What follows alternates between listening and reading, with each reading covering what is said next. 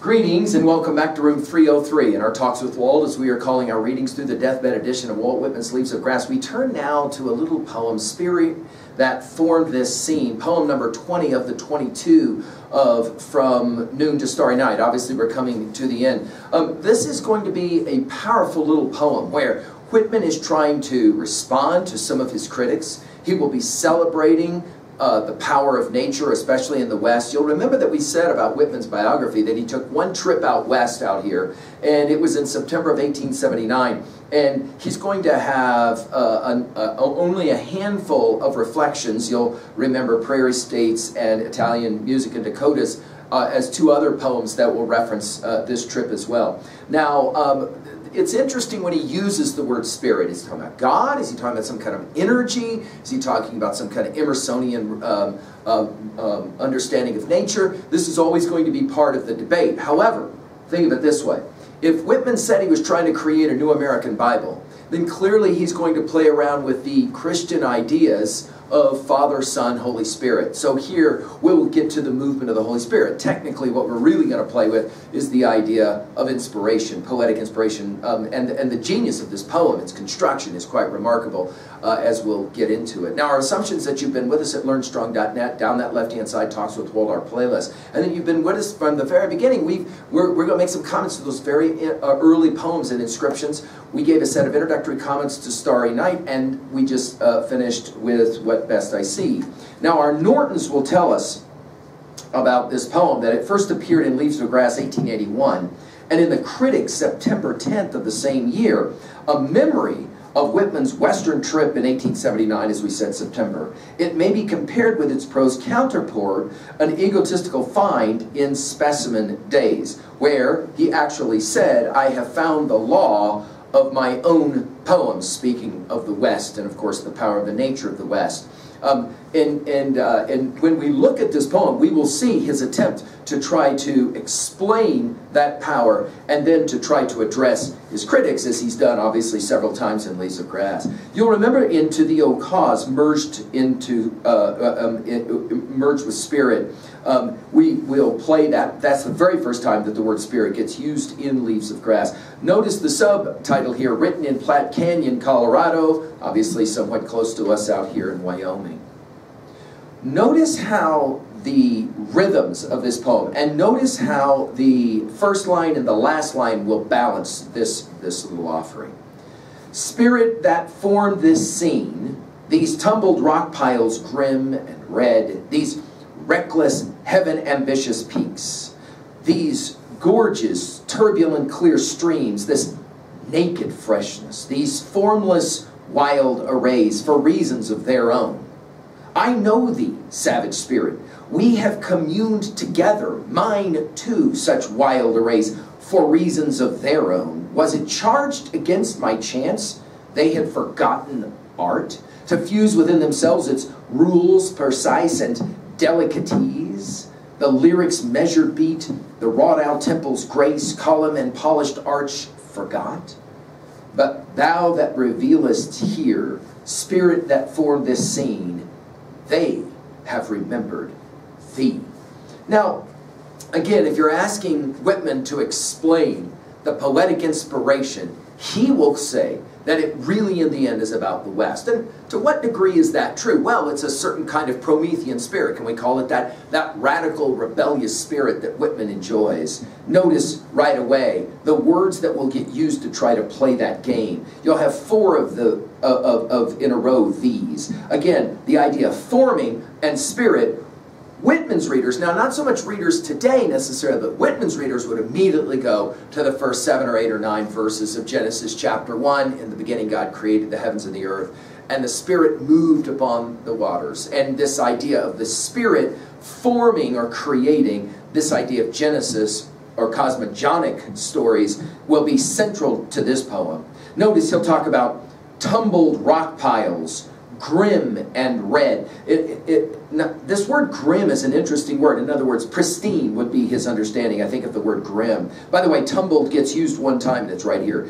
These reckless, heaven-ambitious peaks, um, again, uh, you'll, reckless gets used six times in Leaves of Grass. Whitman likes this word the, the mountains, and, and of course, we, we're familiar with this, living ourselves in the bighorns, aren't we? These gorges, turbulent, clear streams, this naked freshness, and again, naked here is, again, pristine, right? In other words, unadulterated, pure, if you will. These formless wild arrays, and then the use of the word wild to take us to savage in a bit. And then he'll say, for reasons of their own. Now there's his theodicy. In other words, what's all this in nature for? Well, like there's, it's their own explanation. Don't try and read too much into why. Just appreciate this is the way it is. Now, if he stops here, this is nothing more than a celebration of what we get to see all the time out here in the West. But then he switches and he says, I know thee. Now, this idea of knowledge and the way in which he's experienced this savage spirit, as he will call it, is central to our reading of of Grass, which is, I think, why it's sitting here at this point in From Noon to Starry Night. In other words, he's beginning to recognize the source of his noon as he moves, obviously, towards his night. I know these savage spirits. Notice the use of the dash. I know these savage spirits. We have communed together. Now, his use of the word commune, I find this fascinating. It is a obviously very religious term. It is a Christian religious term. It's used one time in Leaves of Grass, and it's right here, right now. We have communed together.